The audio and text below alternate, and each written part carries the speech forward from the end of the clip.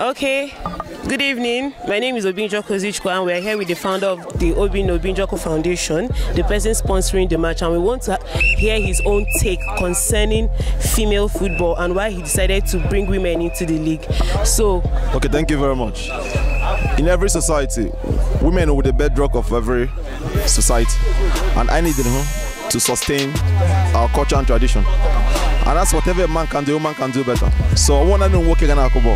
So we also have to also look for talents among the women in the community. So all we want uh, promoting unity and also empowering the youth, most especially the women. So as we work in Akwabon, one Akwabo, we're gonna get the best out of them, and we hope that subsequently, I can win a better turn up and uh, a more competitive uh, football game. Thank you. thank you.